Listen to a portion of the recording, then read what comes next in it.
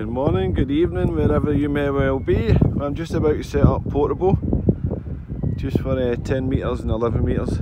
I need to get myself a, a new HF uh, mobile radio again. I sold them all, so I need to pick another one up to I'm going to start going out and do some portable work.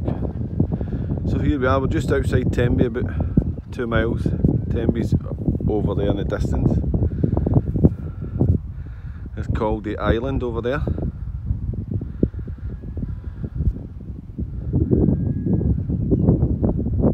Quite a nice day at the moment, a wee bit windy here.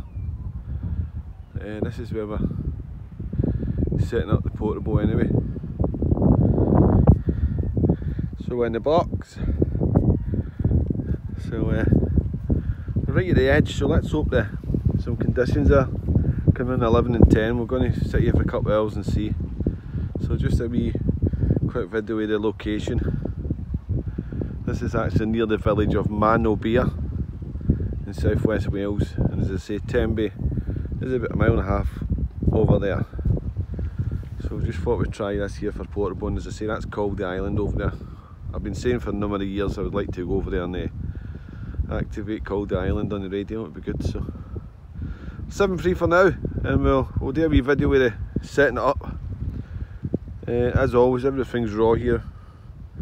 Uh, we're going to try and make up um, a holder here for the phone and we'll show you set it up. 73